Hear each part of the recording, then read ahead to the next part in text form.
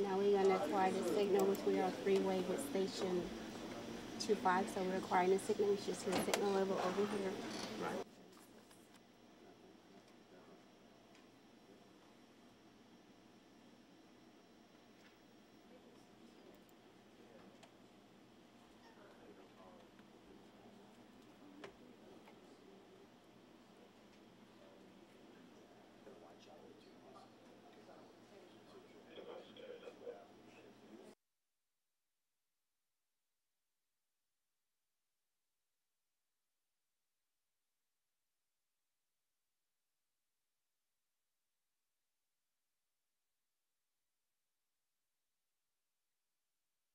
The antenna now should be in uh, good operating condition for the next uh, I don't know, t- 10 to 15 years.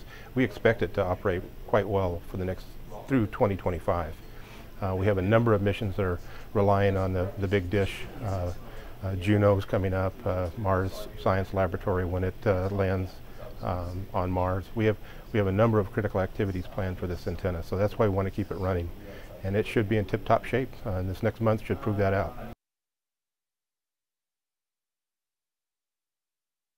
The biggest job was replacing the azimuth bearing. This whole antenna floats on a film of oil about five to ten thousandths of an inch thick. It's about the, thickness of a sheet of paper.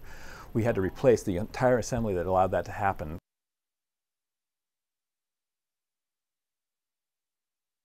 Seventy meter antennas are the largest antennas in the deep space network. They have the, the best capability to bring back the most amount of data and we're always struggling to find enough antenna time for all the missions that want to use the deep space network.